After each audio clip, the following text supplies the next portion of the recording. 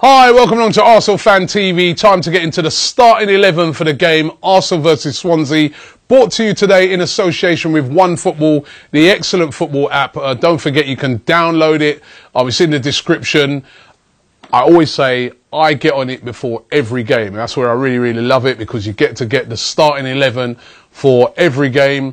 Um, and you know how many times I go on the app and I'm so surprised. I'm like, what? Who's that? Why is he playing? But um, you get all the information there, plus as well, lots and lots of Arsenal content. So get onto that One Football, um, brilliant app, and I said the link is in the description below. Starting 11 time. Big game against Swansea. Every game's big at the moment because we've had a bit of an indifferent start, but really encouraging last week. Um, the performance against Everton, the way we destroyed Everton, it was brilliant. And we all want to see much of the same um, come this weekend. So let's get into the starting 11. Arsenal, of course, taking on Swansea. And to be fair, Swansea, they've been having a bit of a nightmare at the moment. And uh, you'd be looking at it as a Swansea fan and you'd be very fearful of this fixture after you saw the demolition job that Arsenal did last week. And uh, Arsenal are on a high at the moment. Win during the week as well. I'm in the Carabao Cup. Eddie getting the business done.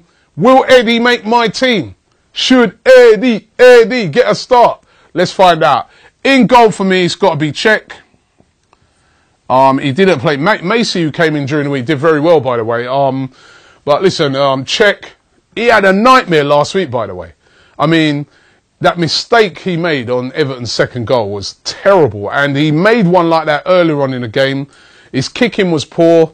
You know, but listen, I very rarely just Cech them, follow that up with another bad game. We'll give him that bad game for last week, but he was poor. Um, then the normal three at the back that we always seem to play nowadays. Now for this game, I'm still going to stick with the three at the back, but for me, this is the sort of game where, for me, you don't need three at the back against Swansea. You know what they're going to do. They're going to be quite defensive. They're going to be really fearful of Arsenal. This is, for me, the game where you go in there and you really turn the screw. But it will be free at the back. We all know it's going to be free at the back.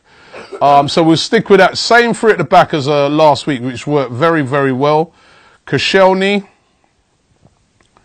Oh, get my spelling right, man. You know what? Koscielny. Kos. That'll do it. Speed things up. Um, BFG in the middle. Played very well last week, I felt. And um, on the left hand side, Nacho Monreal scored last week. I thought played very well. All right, bit of a mistake on their second goal, but again, I still felt that Cech could have dealt with it. The tank, Kolasinac, out here helping out uh, wing back. Bellerin, who had a good game as well. Um, and then uh, Ramsey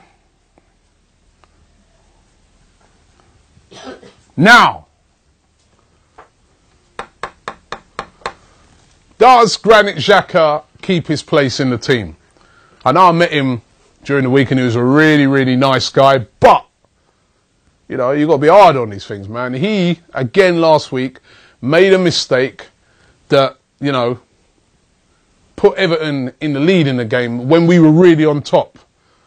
However, following that, he did play pretty well. He had that shot which then, you know, was uh, saved, parried, which then Monreal managed to score off of. And then in the second half, he played pretty well in midfield. So to be fair, also when you consider the fact that Jack Wilshere has just played like uh, extra time in the Carabao Cup and we completely knackered, and this is a guy that we're still trying to ease back in. Uh, Granit Xhaka does start for me. So Xhaka retains his, retains his place in the team. Granit Xhaka. Um, just in front of him, listen, um, they were brilliant last week. Ozil and uh, Sanchez, Alexis, both of them absolutely brilliant last week. And then in front of him, Lacazette. It, it, basically, it's the same team that played Everton last week. They were devastating. These three, they were getting around, lots of movement. You know, um, there was movement down the flanks. It was brilliant. And, um, you know, Ramsey as well was bombing forward. It was really attacking, really, really good, really, really fluid. I love what I saw last week, and I want to see that again. Now, I do think that Arsenal get the job done by three goals to nil. What do you guys think? I'm hoping for more.